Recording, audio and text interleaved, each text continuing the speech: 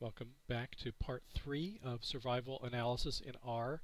Uh, this section is we're really going to dig into the actual survival topic itself, uh, and hopefully you've gone through one and two. You've you've located the the file. You've loaded the data. In the previous section, we uh, looked at the German breast cancer data to understand it a bit. But section three in the code, starting at line 66 uh, is where we load the survival package. So I'm just going to run that library survival uh, to load that. And we're going to start working with survival. So if you remember, uh, the key um, factor here is that the the recurrence time is linked to this other piece of information, whether the data was censored or not. So censored means uh, we hit the end of our study and we still didn't have a direct observation of, in this case, there was no recurrence of breast cancer. So we can say that it took at least a certain number of days, whether it's 2,000 days or something like that, uh, for the breast cancer to recur, but it could be a lot longer. We don't know. We, it's at least 2,000, and that's different than saying it's you know, we know it recurred at 1800 days. So we have to mark that as censored data and we have to link it. And we do that with this surv object, S-U-R-V. We create a combined object uh, that takes the recurrence time and links it with the censored flag. Now those uh, two data items, right, they have to be aligned with each other. You have to have the same number of observations. They have to be you know meaningfully aligned in your data set for this to work.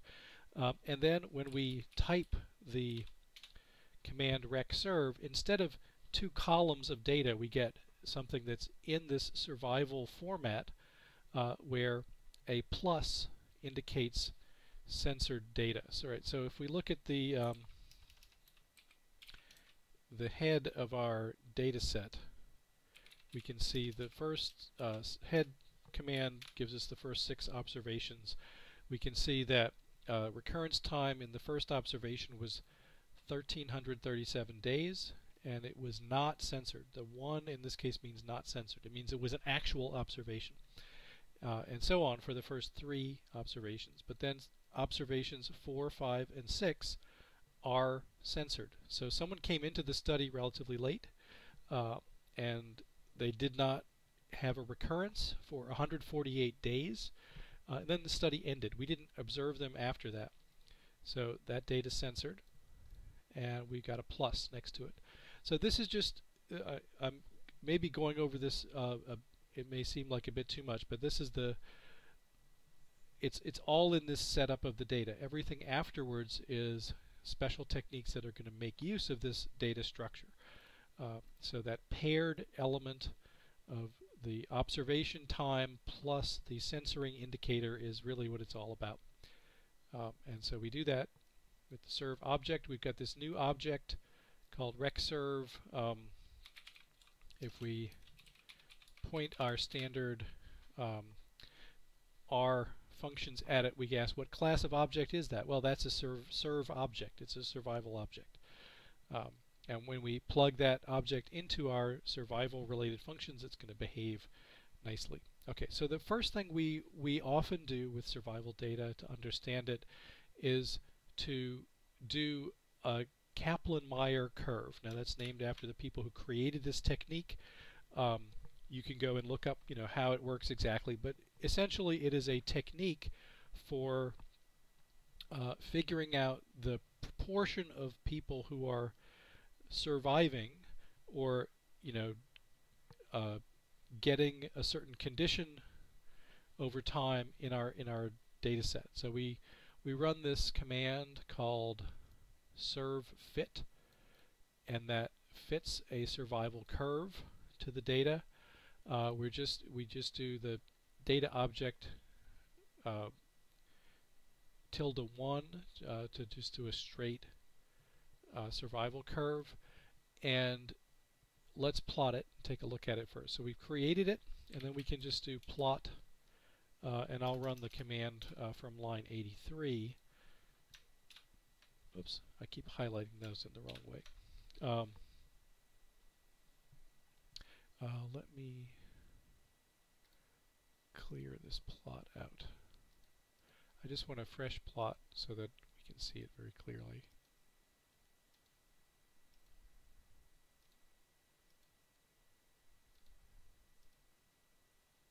So I'm clearing my graph space, plot it again, and this is what a standard Kaplan-Meier curve looks like. So we start at time zero, and at times this is a proportion on the left-hand side. 100% of our subjects have not had the thing happen to them. Now in this case it's the recurrence of breast cancer. Um, and then as time goes by, uh, people have these recurrences of breast cancer. So we can read this as if we trace up from 500 days, uh, that's about about 90%, about 0.9 proportion. Um, 0.9, or let me say 90% of the subjects have not had a recurrence of breast cancer at that point.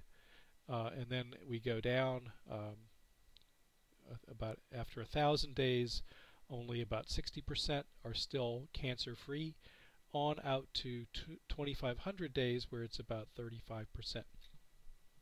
Um, so, and then the dotted line is actually a confidence interval because these are estimates of uh, some true underlying relationship.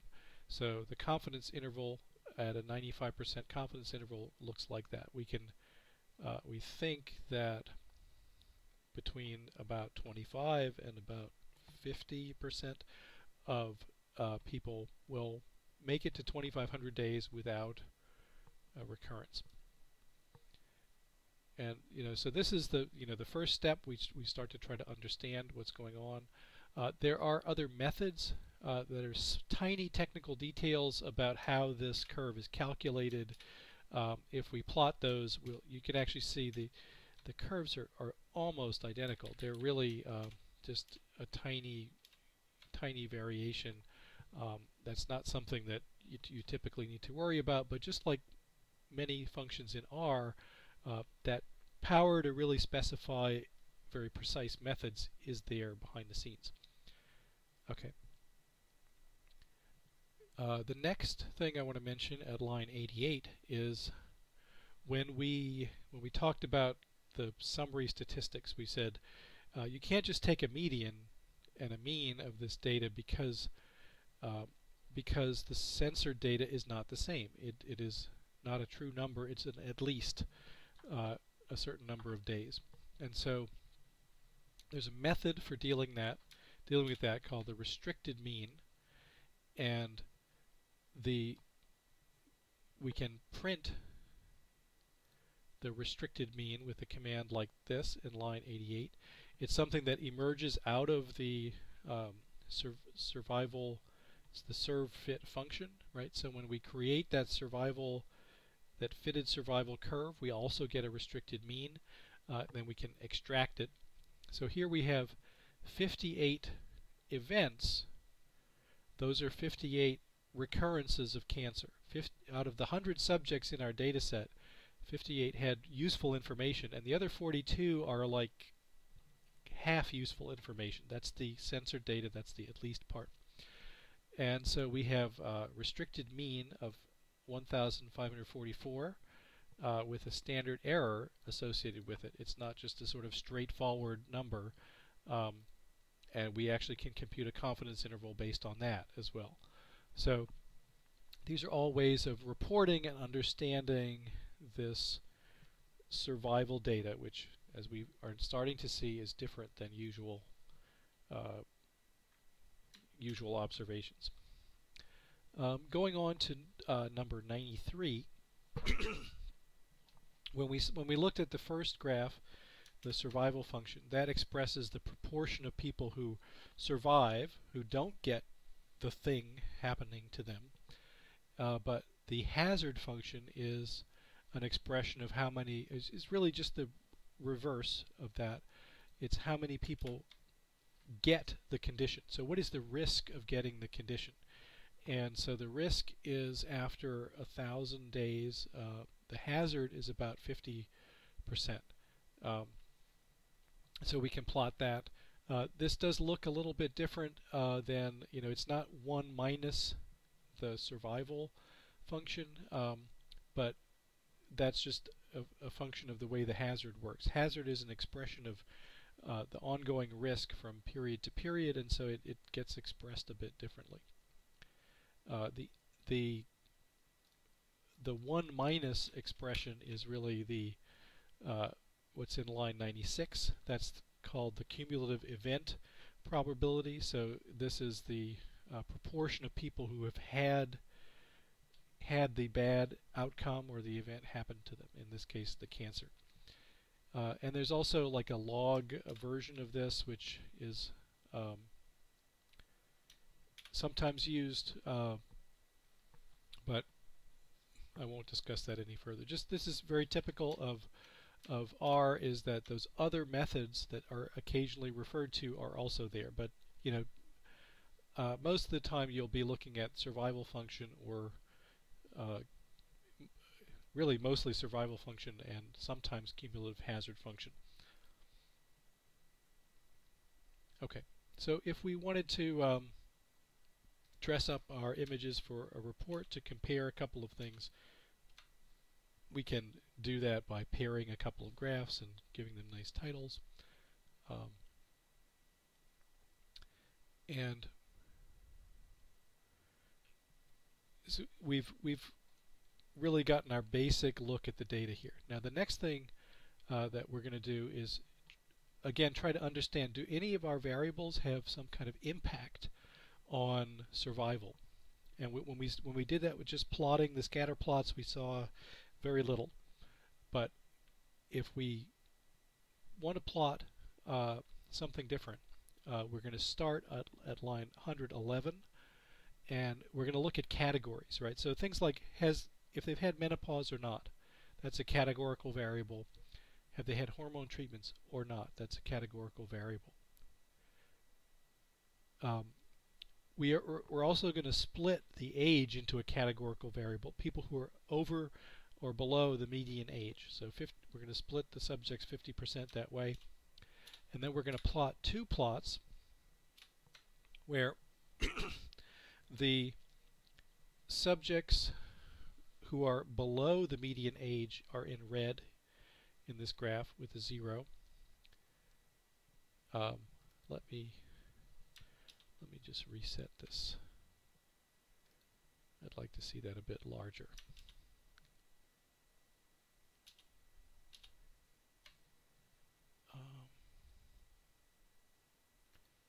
that should should be able to get rid of these and go back to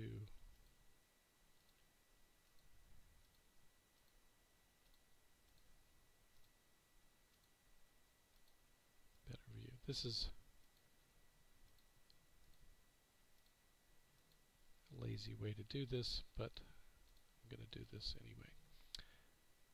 Okay, so now, okay, now we have a full screen uh, or full half screen plot of that survival curve. All right, so what, what have we done? We have uh, graphed in red the survival curve for younger people, and the younger half of people, and in blue the survival curve for the older half. So here there's a gap that opens up, right? And the gap is important. So uh, again, to read off one example, at a thousand days, um, almost, I would say, almost 70% of younger patients have survived without a recurrence of breast cancer. But that number drops to about 55% of older patients. So older patients are more likely to have that recurrence. Um, if we look at menopause, now menopause is is also pretty directly associated with age. So uh, we see the same kind of relationship. Zero is younger, uh, zero is not having menopause, one is having menopause.